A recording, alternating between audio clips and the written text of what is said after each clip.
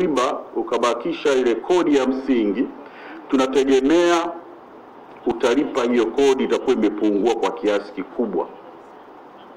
Hii riba na adhabu zipo zimekuwepo kwa mujibu wa sheria. Ukichelewa kuwasilisha ritani utapata riba, na kuna ukichelewa kufanya mambo mengine unapata na adhabu pia. Kwa hiyo zipo kwa mujibu wa sheria na zitaendelea kuwepo, sio kwamba zimeondoka, ila kwa kipindi maalum ndio tunasema kwamba hizo tunatoa msamaha.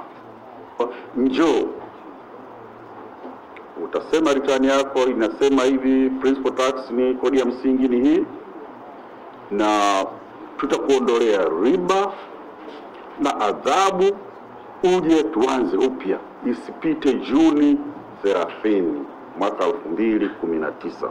Mimi watoe taarifa ambazo ni sahihi, na endapo itabainika kwamba taarifa sio sahihi, itapelekea mwombaji kupoteza sifa ya kufaidika na msamaha huu ambao TRA na serikali inawapa walipa kodi.